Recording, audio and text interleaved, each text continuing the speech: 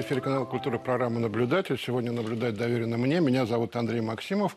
Я думаю, что не только театральные, вообще все люди знают, что Московский художественный академический театр имени Горького возглавили новые люди.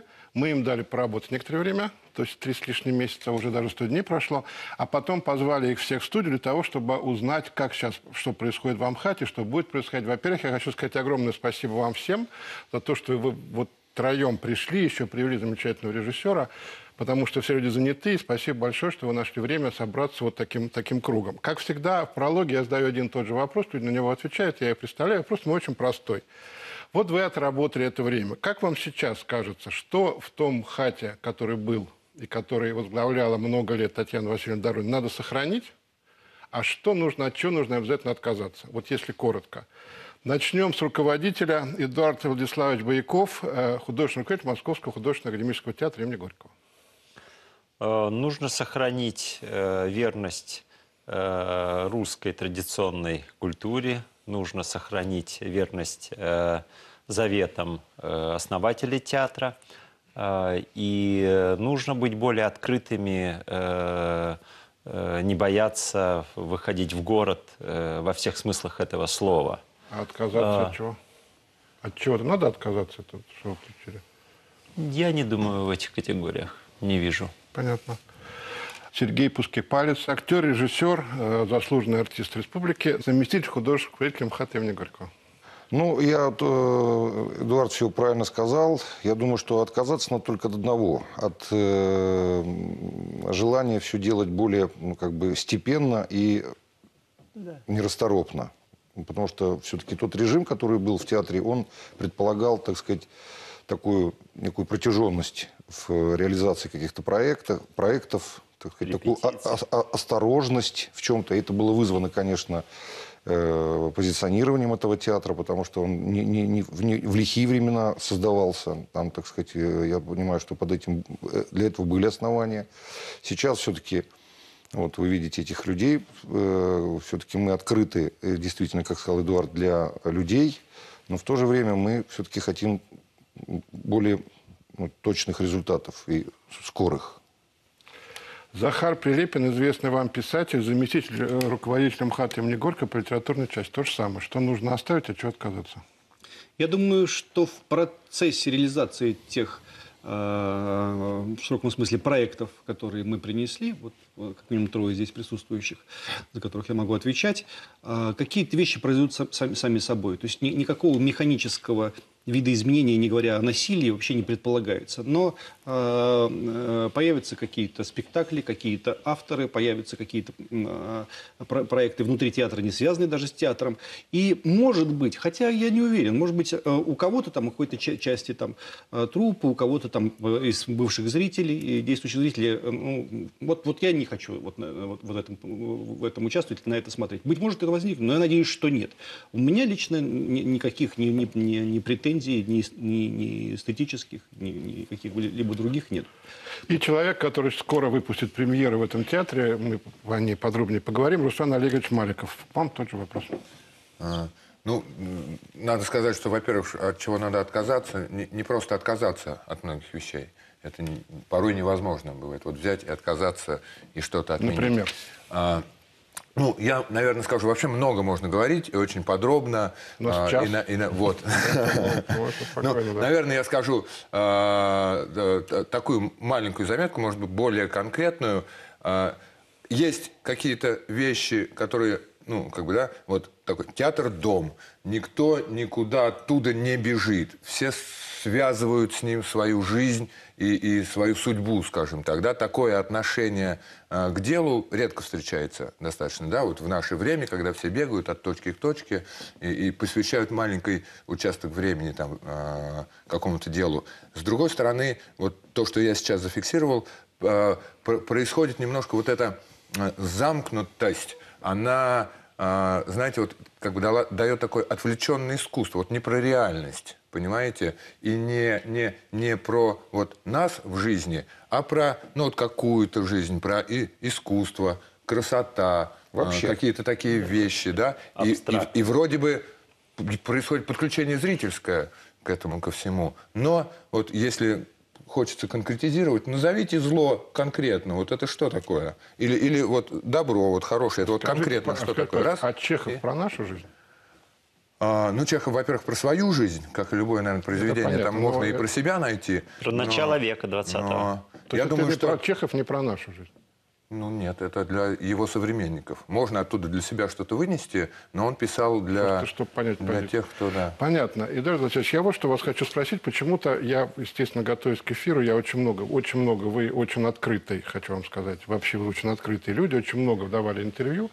Но почему-то не возникал такой вопрос, я хочу вас спросить. Я видел ваши спектакли как режиссера, и они мне очень нравятся. И мне кажется, что вы хороший режиссер, извините, что прям... Спасибо. Но мне кажется, что вас взяли все-таки в этот театр а, именно как а, одного из лучших наших менеджеров. Все-таки вас взяли как менеджера как мне кажется, если я ошибаюсь, меня поправить. И тогда у меня возникает вопрос. Все-таки МХАТ – это особенный, особенный театр, ситуация достаточно уникальная, когда руководит театром человек не за свои режиссерские заслуги, как, например, Женовач возглавил МХАТ, а человек скорее за свои менеджерские заслуги.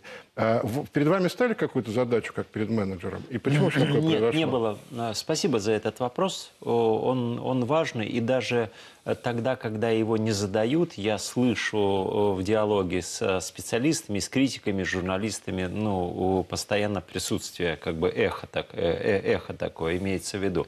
Я думаю, что менеджер все-таки слово неточное. Я бы претендовал бы на то, чтобы речь шла о продюсировании, о продюсерстве, о окей, проди- продюсер, о- о да. продюсере, об импресарио, о э, антрепренере. Э, Есть ряд слов, которые э, там, благодаря тому же Сергею Дягилеву стали эм, святыми для тех, кто действительно отвечает за творческий результат. Менеджер отвечает за административный результат. Антрепренер, отлично. Э, э, Я действительно э, заявил на первой встрече с актерами, что э, в этом сезоне э, я не буду ставить спектакли, я, я не имею никакого ни физического, ни морального э, права и возможности э, этим заниматься. В ситуации, когда главное, что нужно, это э, запустить процессы работы совершенно в другом режиме нужно выпустить 10 премьер до, 2000, до конца 2019 года. Это очень большие цифры, это, это очень серьезно. Поэтому я действительно сейчас я стараюсь работать как, э, как продюсер, отвечать за художественный результат любой работы, но при этом собирать э, режиссеров и А это создавать для такая, них как вам условия. кажется, это такой исключительный слу- случай? Вообще, пока такой первый раз у нас. Вот я такого второго случая, а, и, и этот первый раз случился именно с Амхатом. Это исключительный случай или это такая тенденция, что, Если- что антрепренеры будут руководить театрами? Я думаю, я думаю, что это...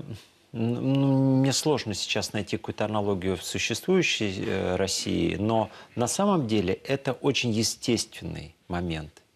Это естественно, это правильно, это нормально. А, И это, то, что я сейчас говорю, совершенно не противоречит тому типу театра, который создает Женовач, э, Додин, э, Яновская и, и так далее. Они выдающиеся режиссеры. Я их безмерно уважаю, и не только их лично, и не только их за режиссерские качества, но и как строители вот этого самого дома. Но совершенно точно существует другая модель она должна существовать для того, чтобы помочь вот тому э, режиссерскому театру выжить в наши тяжелые времена. И эту модель действительно э, я представляю и буду представлять. Например, Швыдкой. Он кто? Он режиссер? Но он же руководитель театра мюзикла. Ну, может быть, это недостаточно, Ну, не его- идеальная анало- он аналогия. создатель его. Он его создатель, он художественный да. руководитель театра мюзикла. Они со Смелянским э, развивают, они... э, То есть это такая, такая э, линия в театральном деле, которая может быть тоже. Совершенно нормальная, Её не знаете. было очень долгое время. Совершенно никогда. совершенно, совершенно живая. На Западе она была. А если говорить э, о России, то упомянутый мною Дягилев, мне кажется, для нас прекрасный ориентир и икона. Захар, я вот у вас хочу задать вам вопрос, который приходит в голову всякому человеку, который читал ваши книги, потому что я вам уже, по-моему, говорил, что роман «Обитель» мне кажется просто таким выдающимся произведением. А вам это все зачем? Объяснение достаточно простое, не буду э, э, искать в голове какие-то надуманные мотивации. Дело в том, что то мне кажется, слишком велика сила инерции 90-х годов в худшем смысле этого понятия. Э, в, в российской культуре. Не в том, что вот там э, люди космополитических или там квазилиберальных взглядов занимают слишком позиции, а, а в том, что люди э, плюс-минус моих или наших, если угодно, убеждений, то есть люди традиционных ценностей, консервативных ценностей, левых, правых, причем не, не, не, принципиально, не занимают, как мне кажется, а, и я в этом абсолютно убежден, тех позиций, которые должны были бы занимать. И в этом смысле мне театр интересует не просто как театр, не только как театр, не только как способ взаимодействия между театром и современной литературой, театром и действительностью, театром и идеологиями, но и как место, где люди, которые находятся на облучке, на, на, в полумаргинальном положении в нынешней культурной и общественной ситуации, чтобы они имели возможность прийти, услышать друг друга, познать, потрогать. То есть вы услышать. пришли в театр, чтобы нести свою идеологию? Нет, это неверно. Я пришел в театр, чтобы те люди, которые не имеют права голоса, могли, могли э, прийти и высказаться, артикулировать, могли их услышать, могли собраться, могли друг друга ну, найти. Это, это и есть это. Но это не идеология, понимаете? Это, это возможность э, проговаривать те идеологии, которые не слышны, понимаете? Ну, это разные вещи. А, Сергей, вот вы что хочу спросить. Я знаю, как и все, что вы ставите последний срок Распутина. Известно, когда премьера будет? Сейчас э, вот мы наметили, вот художественный руководитель поставил задачу 8 мая Выпустить что 9 у нас... Ты сомневаешься? Да. Так с вопросом, 9, конечно, 8 9 мая у нас заходит «Бессмертный полк», мы показываем Теркина, 8 мая мы показываем, э, ну, скажем так, премьеру, пока это, так сказать, премьера, еще, я так очень э, осторожно отношусь к этому, премьера, наверное, после 10 спектакля уже будет, так, фактическая, ну, так сказать, первую сборку. Вы а то, что так... вы сейчас сказали, Андрей, по поводу идеологии, я бы не боялся этого выражения, потому что идеология Захара мне очень симпатична, и вы сказали про обитель, э, упомянули. И вот там как раз та идеология, которая симпатична мне лично. И я ничего в этом зазорного не вижу, если идеология Захара Прилепина будет наполнять стены этого я театра. Я должен сказать, что я абсолютно безоценочный. Я просто спрашиваю, да. так или нет? Мне кажется, да. Захар просто очень да, тактичный человек. Он, ну, может быть, стесняется сказать этого, э, это про себя. Но вот я не стесняюсь это сказать. Мне, мне нравится, что идеология Захара Прилепина, исходя из его книг, которые я прочел, э, будет э, очень такой важной составляющей этого театра. А можно я добавлю? И мне более того, те театры, которые э, много говорят об отсутствии идеологии, о том, что они вне идеологии, они, безусловно, транслируют очень понятную, очень явную, очень очевидную идеологию. Да. Они идеологически намного больше нас, потому Мне что кажется, мы толерантны. что не бывает искусства без идеологии. Абсолютно. Конечно. Любое искусство. Никогда. Конечно. Скажите, пожалуйста, Руслан, вы работаете, делаете... Ну, давайте сначала про спектакль я вас прошу, чтобы не мне рассказать, что вы ставите.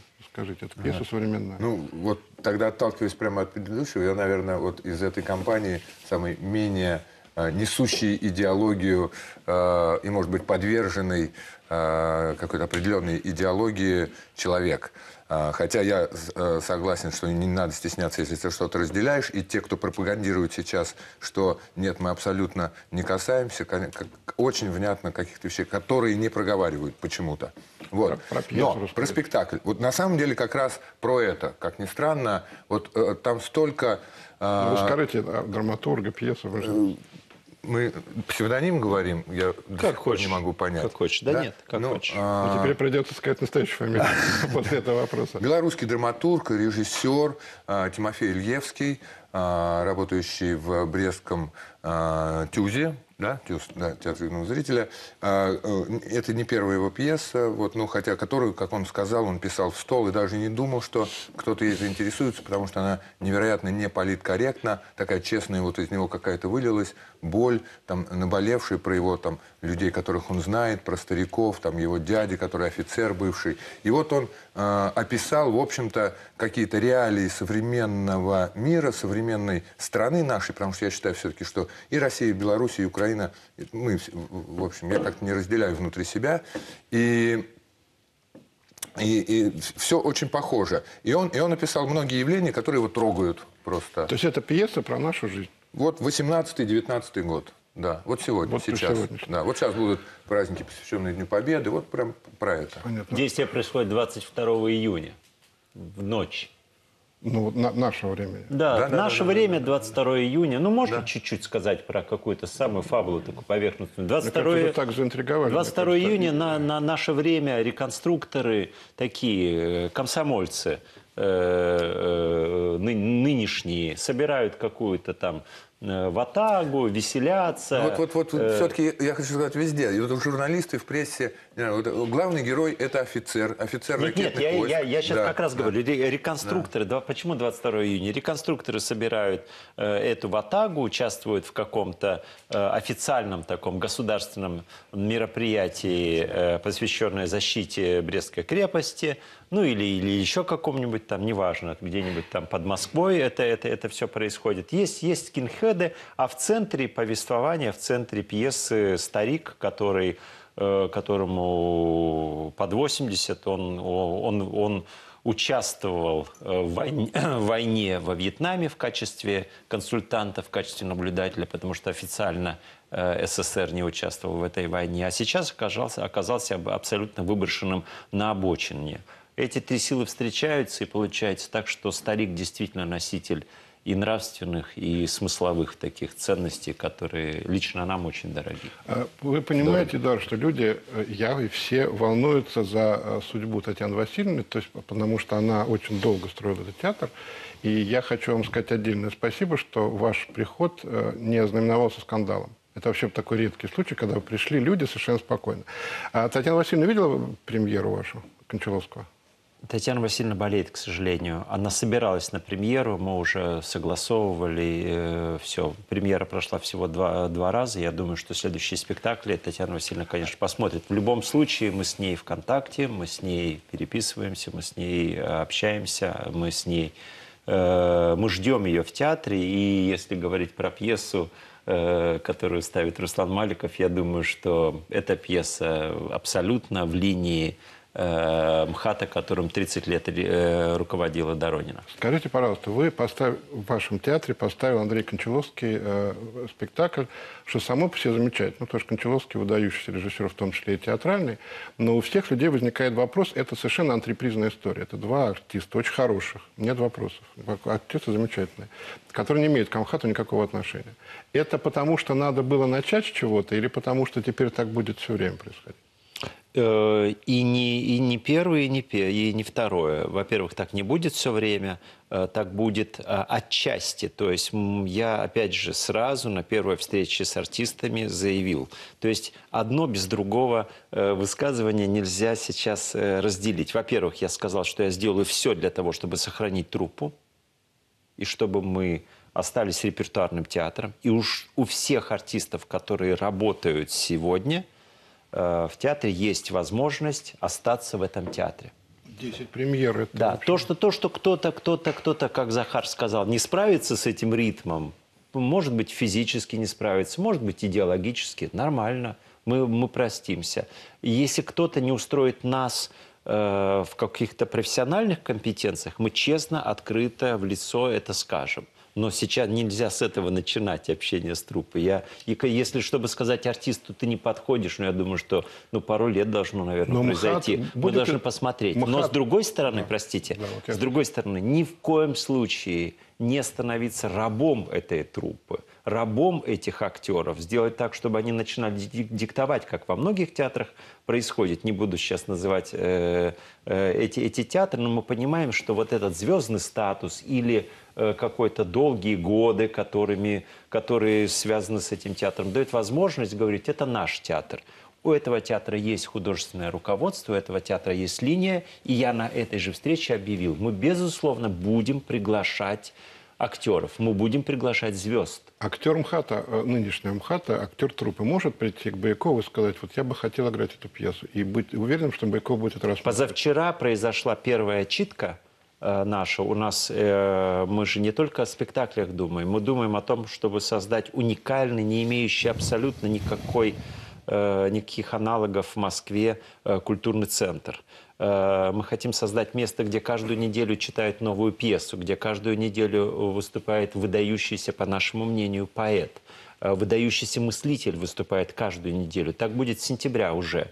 И сегодня мы начинаем, э, ну, просто э, такие пилотные выпуски этой программы. Мы прочитали пьесу Виктории Никифоровой, и, видимо, следующая читка будет э, как раз-таки пьесу, которую принесла актриса нашего театра Кристина Пробст, принесла, э, ну, встала на собрание. Дарт Владиславович, можно Э, Я, конечно, сказал, да, да, конечно. Она принесла Завлиту, Володя Забалуев, Забалуев подходит ко мне и говорит, потрясающая пьеса.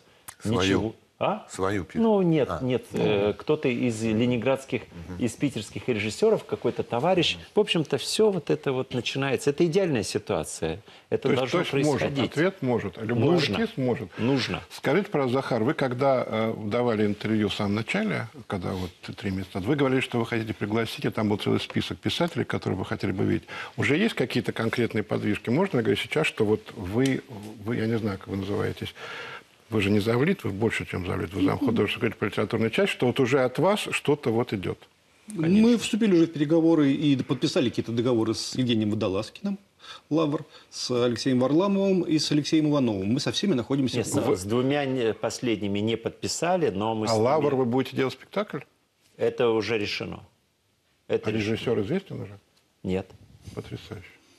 Но это важнейшее. Ну, это только самое начало. Вот, А я надеюсь, что с Алексеем Ивановым мы доведем до конца, и с Варламовым... с А инсценировку будет делать э, он сам? Эм, Он приезжает э, на днях э, в Москву.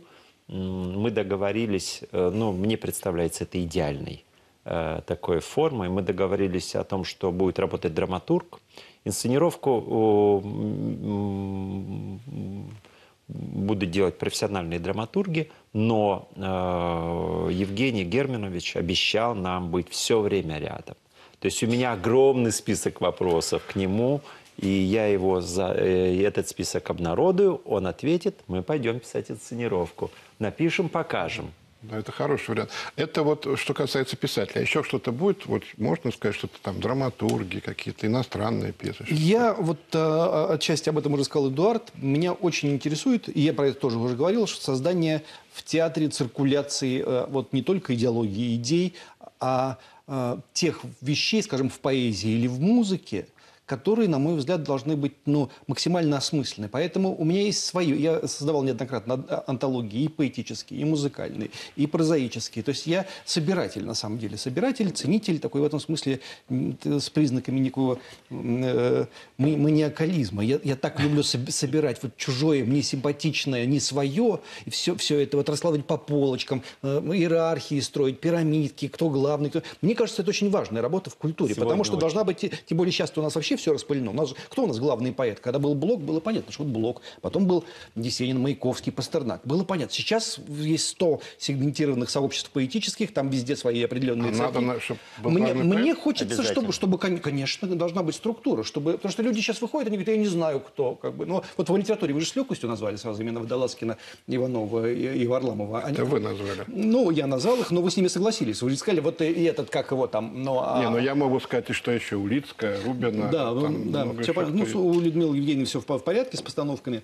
Так вот, э, и поэтому, что касается поэзии, что касается музыки, я как человек, который в этом разбирается, к этому имеет отношение, с этими людьми дружит, я вот этим, а, а, вот это пока вижу одной из своих основных линий своей деятельности. Когда вот мы к сентябрю мы это придумаем, будем запускать. Где будет выходить на сцену поэт, а, допустим, я, человек, который объясняет, чем он замечательный, почему у него такое вот место в этой иерархии, и артистом. И вот это будет у нас, так или иначе, это Эдуард придумал, и меня это устраивает такой вариант, и это будет нас работать. То же самое с музыкой, там, допустим. Расскажи про Решетину. Потрясая- Потрясающая встреча только что, вот буквально, это свежее впечатление. Это не потому, что мы просто делимся. Ну вот да, только да. что. Потрясающий Расскажите человек, больше. великий. Да, просто. это, это, ну, и он известен там э, слушателям э, музыки как скрипач группы «Аквариум» в лу- в лучшие там годы после э, по- погибшего, господи, утонул, фамилия на, Косиль похоже. Вот, и пришел Рюша Решетин. А, а, и а, потом он ушел из группы «Аквариум», и он занимается изучением русской силоботанической поэзии. Силабической Да. даже. Да, силабической, 18 века. 17 17-18 век, 17 да.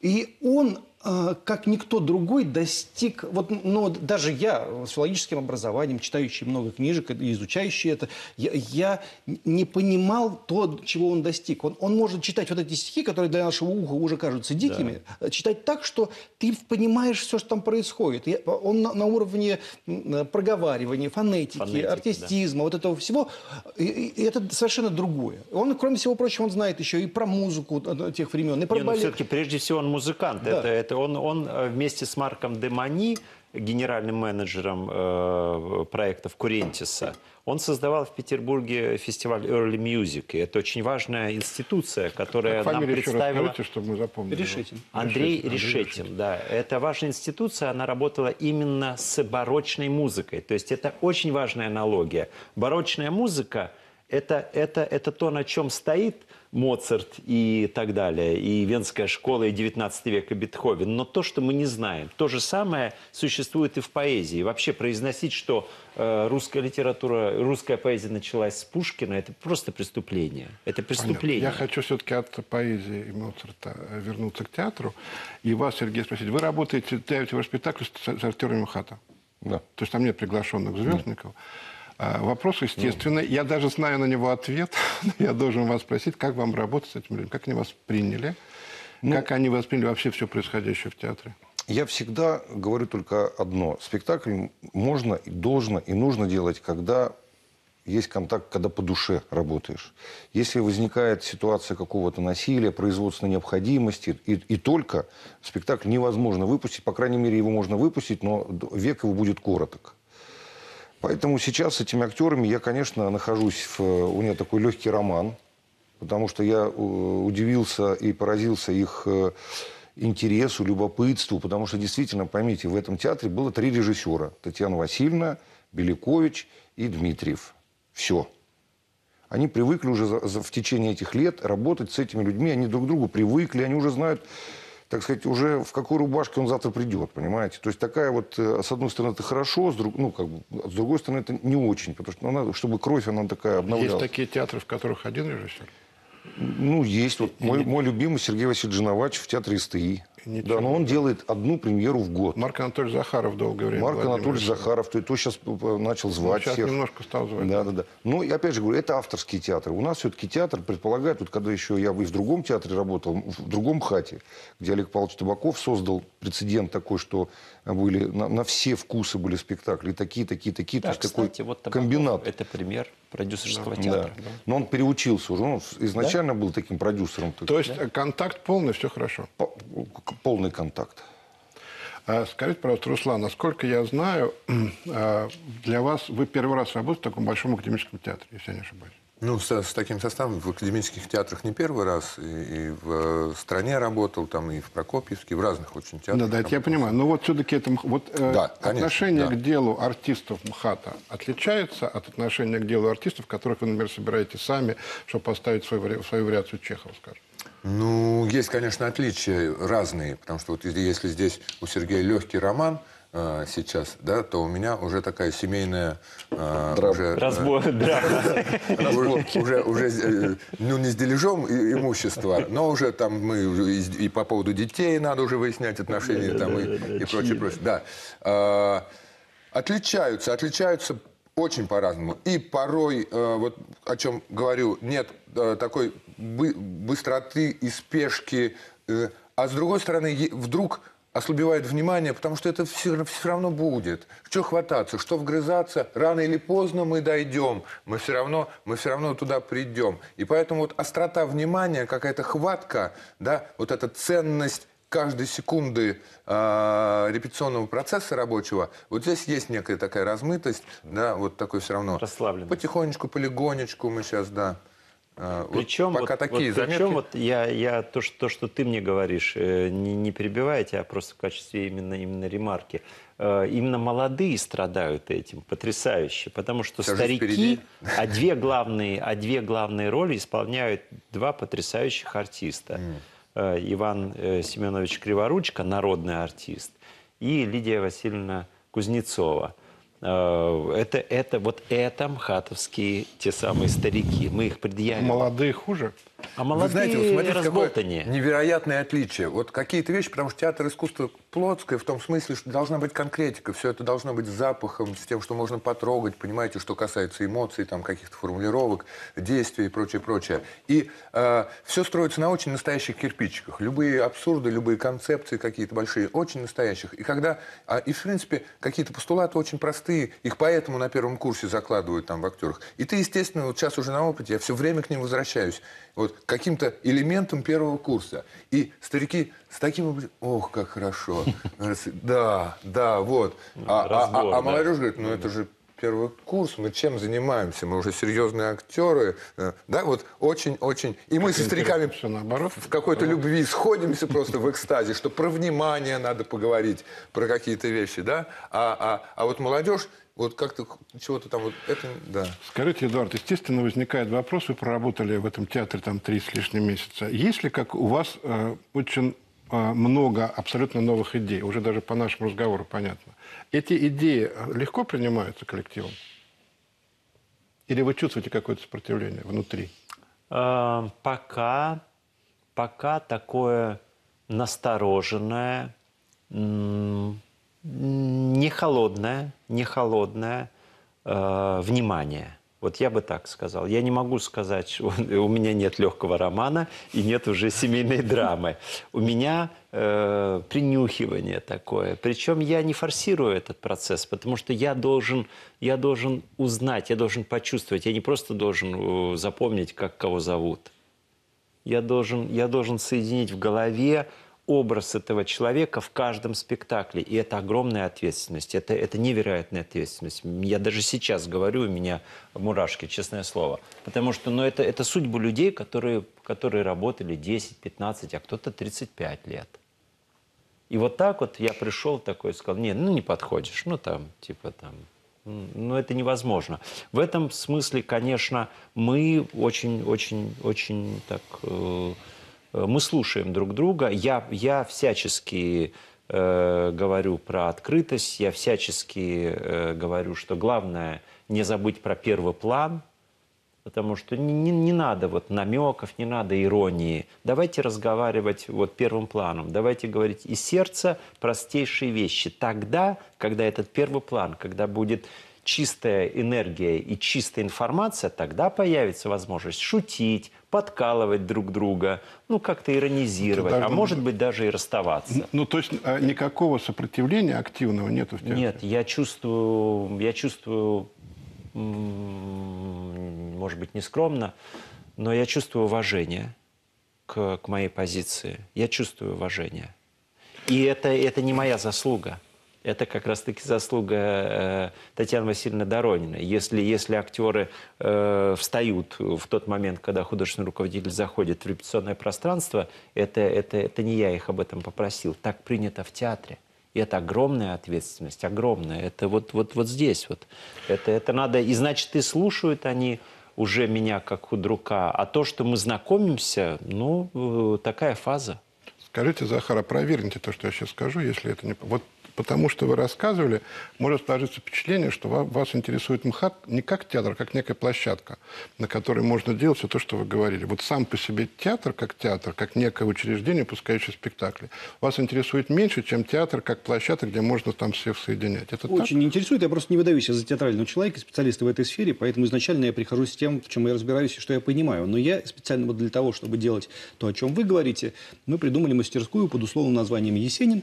Она касается не только Есенина. Я сейчас пишу большую, огромную, дописываю, дай бог, доделаю биографию Сергея Есенина. И мы уже вот за- задумали с Эдуардом а, спектакль по этому поводу. А, Он будет связан с женщинами Есенина. Я скрывать не буду, но, но это, конечно, дело там не, не, не в женщинах, и упаси Господи, никакой, там, они в клубнике. Это биография, это по поэзии, это стихи, это куски жизни. Это Вот, будет и- я для этого создаю мастерскую, да, я сейчас уже подсматриваю, как Сергей делает свою мастерскую, как все это происходит, чтобы мне сесть, чтобы не начать это вот, вот, вот э, кусок биографии, вот э, стихотворение, как вы это видите, как я это вижу, чтобы мне войти в эту с- самую структуру. Я, Как ну, это трансформируется в драматургию. Да, как из этой глины. Вот, А вот вы будете автором этого спектакля? я буду, буду куратором этого спектакля, потому что ну, там будет драматургически будет решать человек, который умеет это делать, сценически тоже, но я, я э, это ну, все-таки главным персонажем в этой истории буду я. А Вот и, и, э, вот когда уже я пойму, как, как здесь работают все эти ремни и приводные механизмы, тогда... Получается, я- продюсером он будет. Ну да, продюсером. Тогда я, тогда я уже буду более разумно отвечать. Я могу сейчас вот просто наплести, что вот выдать себя за этого, за известного театра. Ну зачем, если я Понятно, зачем? Не надо. не являюсь? Скажите, пожалуйста, Сергей, вот когда выходит спектакль «Супружеская жизнь», где играют две звезды и ставят э, Кончаловский и э, Берман, понятно, что будет зрительский интерес. Когда выходит э, «Последний срок», там одна звезда – это вы, А, замечательно, Распутин, вопросов нет. Почему вам кажется, этот спектакль будет собирать людей? Это очень сложно. Я не знаю, какой, какой спектакль, но пьеса сама, ну, повесть, она очень сложная. И Распутин, как правило, идет на малых сценах. У вас 1800? 1400. 1400. 1400. 1450 с чем-то. 50 Ну, на мы рассчитываем еще на, на приставные, Да. 1400. Почему вам кажется, что вот это сегодня, сегодня Распутин, последний герой, будет вызывать э, интерес Вы знаете, я с, э, вот сейчас мы когда читаем, и, так сказать, вот вслух произносим э, те слова, которые бы- были написаны в 70-м году, я просто поражен их необходимостью э, в, сегодняшний, э, в сегодняшнее время. Поражен их просто необходим. Я думаю, что зритель будет просто впитывать эти смыслы. Он соскучился по э, очень важным вещам, которые говорят, вот это хорошо, вот это плохо. Вот это, это правильно. Вот это Причем- мать, вот это дочь. вот это мать, это, причем говорится это не э, плакатами, да, а говорится, так сказать, вот на сибирский манер, с говорком, с, так сказать, с, с ухмылочкой. То есть вам с- кажется, что зритель сегодня хочет увидеть серьезный спектакль? я, ну, если я хочу, значит, я думаю, я неотделим от сегодняшнего, э, от сегодняшних людей. Я смотрю на актеров, которые с огромным интересом э, это воспроизводят, просто открывают для себя заново. Вслух, когда, знаете, читаешь про себя, это одно. Когда вслух говоришь, Забыто, возникает забыто, другое конечно. совершенно Это забыто совсем. значение. И они с огромным интересом. Мы неотделимы от сегодняшнего зрителя. Я представляю своих друзей, которые будут это видеть. Друзья у меня разные. Они, так сказать, очень серьезные люди, так сказать, э, на- на- насмотренные. Я думаю, что они с огромным просто будут впитывать и, так сказать, поглядывать друг на друга в зрительном зале. И, и- думать, вот один ли я это слышу, правильно? Вы как? Вот мне кажется, там будет все происходить, в зрительном зале. Точно оптимистичный взгляд, я очень желаю, чтобы он сбылся, потому Спасибо что это вам. поразительно. Если это вот так, как вы говорите, это А потрясающе. я хотел еще оговориться, вот опять Захар вот сказал, и, и- и правильно он говорит, вот я его как бы... по- Потому что театр, радикален. те- театр состоит не только из спектаклей. Театр состоит из отношения к этим спектаклям до спектаклей. Несложно сказал я. Нет, понятно. Да, потому что эта площадка, это, это, так сказать, тропины туда должны быть протоптаны, нам, так сказать, пробиты не только спектаклями, но и интересом к этому пространству. Я, я знаю, что вот Эдуард сейчас занимается этим вопросом, о том, чтобы театр... А те- нет, театр, чтобы функционировал не только во время спектакля, но и с утра до спектакля, чтобы там ходили люди, чтобы там были какая- какая-то э, среда была творческая. Вот я сейчас у Руслана хочу спросить. Вот эти все люди, они создают театр, собственно говоря, они начальники. Вы гость, вы пришли, вас пригласили. Вот с точки зрения человека, который пришел, какова атмосфера в театре, с вашей точки зрения сейчас?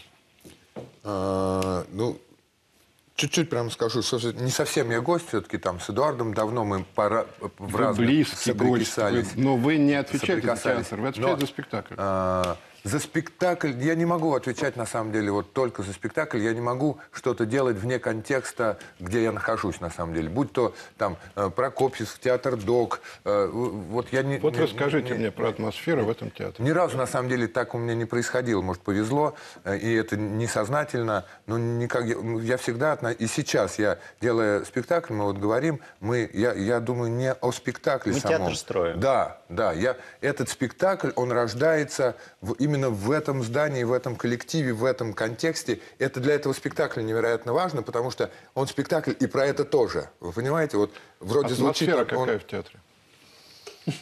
Атмосфера, как в стране у нас, какая атмосфера? Такая разная очень, есть, есть, есть. Ну, все-таки все есть, понимаете? Есть нерв, есть надежда, есть страхи. А как, что, а новые методы, а куда новая метла, да, пометет. Да. Есть, есть настороженность, да, есть робкие какие-то такие э, попытки на что-то повлиять, но вот понимаете, все настолько э, как-то трепетно, вот так, вот, вот не так, чтобы поехали, давай, это нет, это против, это нам не подходит, потому что на самом деле какие-то самые первые шаги, мне кажется, в, каком-то смысле немножко люди не, вот не того ждали, наверное. Вам ждали, комфортно? что я сейчас приду, всех раздену, и, и мы будем, значит, там показывать какую-то новую драму сцене такую, да. А мы работаем по школе. Вам комфортно? Поработать Да. комфортно. И очень интересно, безумно интересно. Скажите, пожалуйста, Эдуард, ваш коллега Сергей Пускипалис сказал в одном из интервью, что вы потом можете, что он за контрактную систему в работе актеров. То есть актеры надо заключать контракты. И а, насколько это все реально в Амхате? Это будет, не будет? Если бы мне бы там 3-4 года назад э, задали бы этот вопрос, я бы ответил бы так же, как Сергей. А сегодня я задумался очень серьезно на эту тему. Э, То, что э, должна быть дифференциация, э, например, в оплате, безусловно. Но То, что должны быть ну, какие-то ну, договоренности, вот, ну, четкие совершенно обязательства взаимные, да. Но при этом, может быть, МХАТ и должен-то, может быть, и, может быть, должен одним из последних остаться театров, где нет этой, этой системы. Все-таки э, Станиславский и Немирович Данченко, и третий создатель театра, Сава Морозов, который работал в нем еще до того, как построил, перестроил здание в Камергерском переулке, в Эрмитаже они создавали МХАТ, и они создавали МХАТ вместе.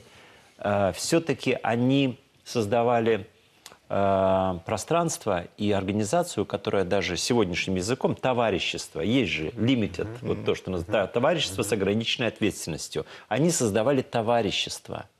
Актеры были пайщиками этого театра. И вот здесь вот может быть, я сейчас не, не, не говорю, что это у меня, я, про- я просто рассуждаю, может быть и надо оставить эту, эту, эту систему, эту структуру, когда люди не на контрактных основаниях, с- очень характерных для сегодняшнего времени, а на вот такой вот э, братской близости Мне очень понравилось, работают. что вы, когда начали говорить, вы обращались к Сергею, как будто вот, вот теперь вы, наконец, можете высказать вопрос. Вы что про это думаете, про Я контрактную систему? категорически не согласен с Эдуардом. Так. Почему? Потому что я считаю, что как это пайщики... часто у нас. Да, потому что пайщики, они как раз и предполагали участие определенное контрактом. Их доля участия, их получение процентов от, От- э, так так сказать, тогда, от, от- конечно. от, э, успешных, неуспешных спектаклей. Они рисковали все сообща. То есть, то есть давайте объясним зрителю. Вы считаете, что надо заключать контракт с артистом, скажем, там, каждые сколько? Три года. Э, По-разному. Ну, С каждым по-разному. актером Ска- по-разному. Да. И, Это а, гарантия его спокойствия внутреннего, душевного. Потому какое-то что, время. Как- да, потому что с год, год это молодой, молодой актер. Мы притерлись, посмотрели, познакомились, обнюхались.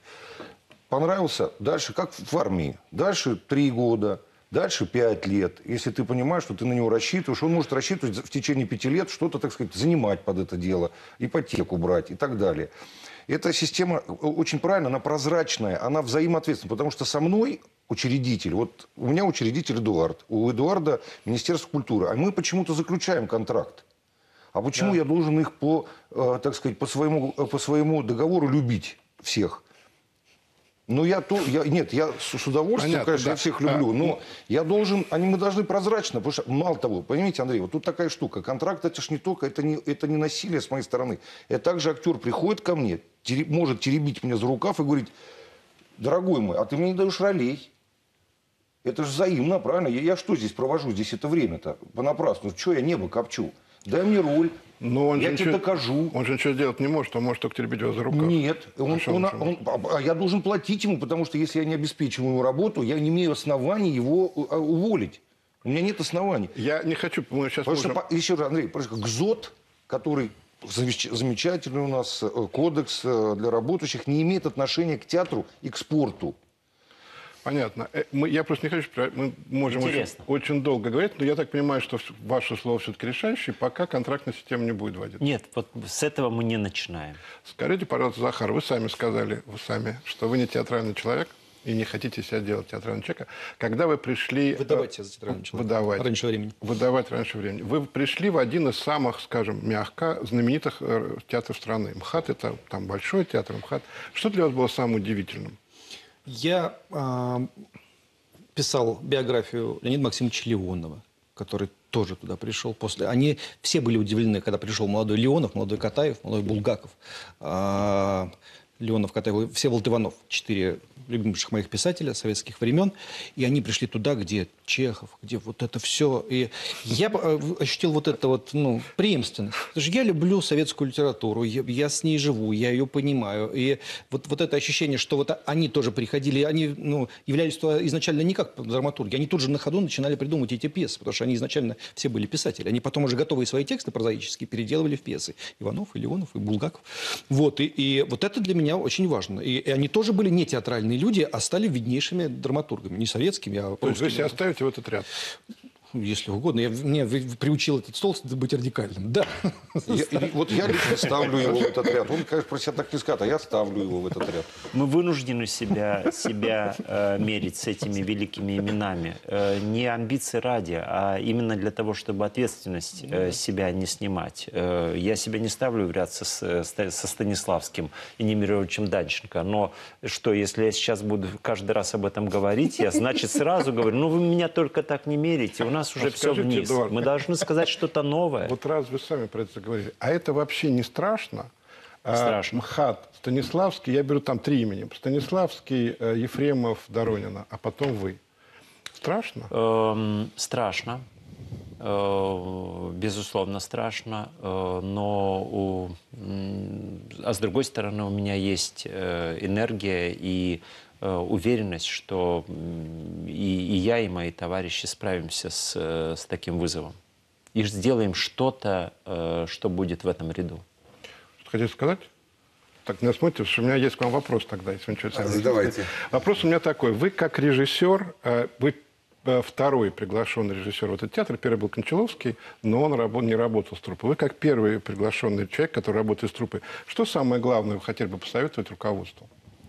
Вот что самое главное надо делать в этой ситуации с этой огромной труппой, а, в этом театре, где есть очень определенная традиция, это был очень определенный театр. Хороший, плохой, очень определенный. Вот что надо им сейчас делать, чтобы театр развивался? Как кажется вам, приглашенному режиссеру? Ну, вот на самом деле, может, у меня сходится, я сейчас почему-то вот всем это говорю в, лю- в любом случае, но, на- на- наверное, это важно. Максимально пристальное, реальное внимание.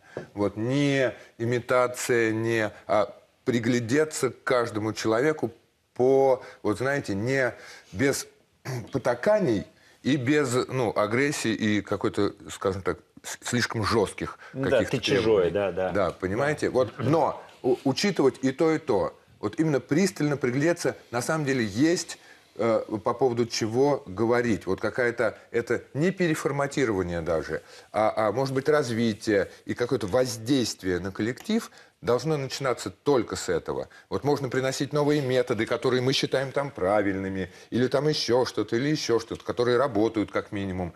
Но вот, вот это пристально присмотреться и, и спуску не давать, и в то же время не убить настоящее, живое, вот это, наверное, сейчас очень важно. Скажите мне просто, Эдуард, я знаю, что у вас будет поставлен балет «Мама» Артура Петиса, Осипова в главной роли, правильно? Ну, не у нас. э, Мы представляем площадку. Это все-таки продюсерский проект, конечно. Вот это, это не спектакль МХАТа. Это не спектакль МХАТа. Э, Максим Волков, э, прекрасный импресарио, который работает и с Ризо Габриадзе, и с другими великими мастерами, в ряду которых, конечно, и Осипова, является ее продюсером, и э, Скажите, вот вместе вас, реализуем э, этот проект. Нет ли такой опасности, что вот ну, громкий спектакль Кончаловского, я уверен, что этот балет будет громкий, просто по Да, определению, да. что вот э, как- когда МХАТ представляет свою площадку чужим людям, это ст- вызыв- может вызывать больше интерес, чем когда он делает собственный спектакль. И МХАТ, Нет.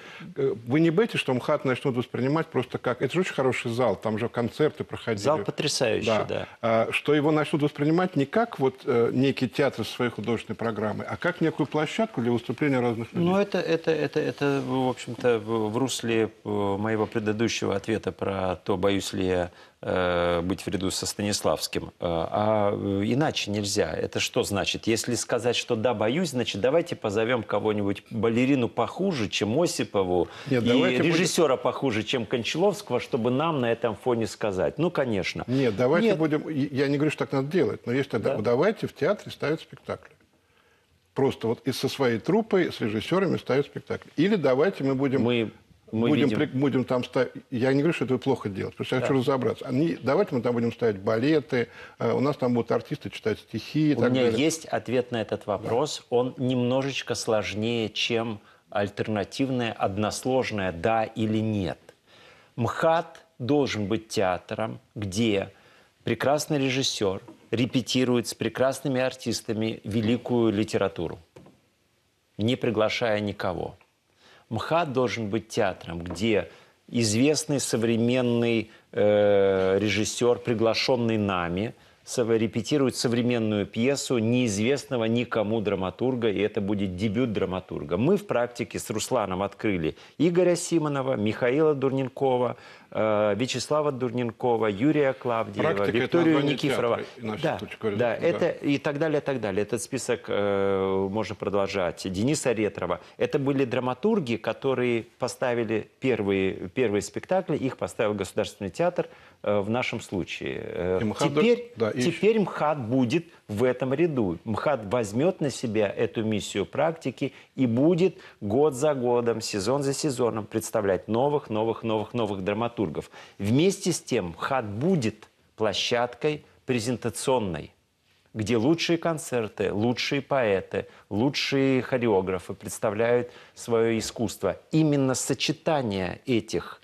э, качеств боясь, и этих моделей, перевесит, нет. А это нельзя, нельзя, ни в коем случае нельзя разделять. Это как мама-папа для ребенка. Нельзя задавать родителям вопрос, кого ты больше любишь, маму или папу.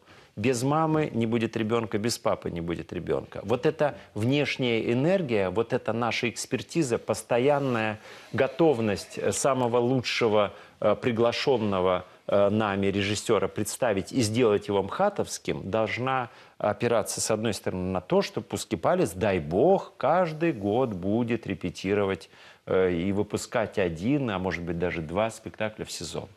А скажите, пожалуйста, Захар, с вашей точки зрения, что такое успех театра? Вот когда вы поймете, что МХАТ успешный театр.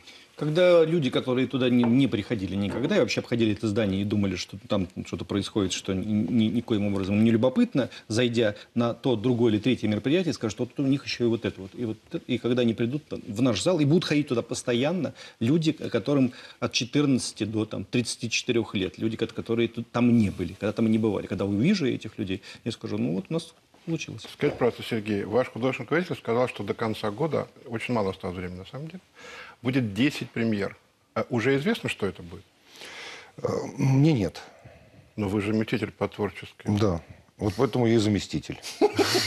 Не, ну что-то а известно, конечно. Что-то вам известно. Нет, это Нет, все-таки у нас... конечно, известно. что-то уже известно. Эм, Есть проекты длинные. И, конечно, Пускипалису известно, что мы работаем с «Синей птицей». Да. Мы восстанавливаем спектакль нам известно Станиславского э, 908 года. Это единственный спектакль Станиславского в мировом репертуаре. И мы медленно, кропотливо, э, потихоньку, погружаясь в источники, в музеи и так далее, и только к ноябрю, дай «Синяя бог, пти- это сделаем. «Синяя птица». Эм, Это, это, это, это в частности.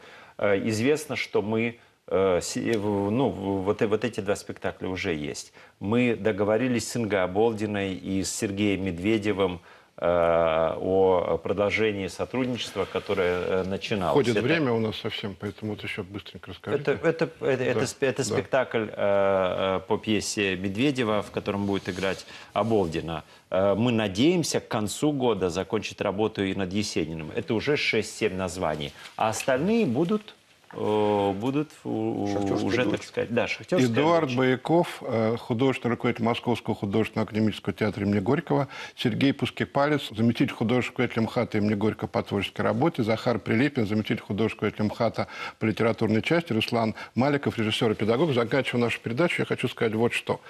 Э, Назначение этих людей в руководство МХАТа было неожиданным и вызвало самые разные толки. Мне кажется, что мы все, то, что называется театральная общественность, должны этих людей поддержать. Потому что им очень тяжело. И давайте, вот многие завидуют, вот Бояков, а это тяжело очень. Вот руководить МХАТом это очень тяжело. Я был в этом театре при Дороне, там были хорошие спектакли, были плохие спектакли. Мне кажется, что надо этих людей поддержать и посмотреть, что получится. Самое простое на них нападать сейчас, иронизировать и издеваться. Это самое простое.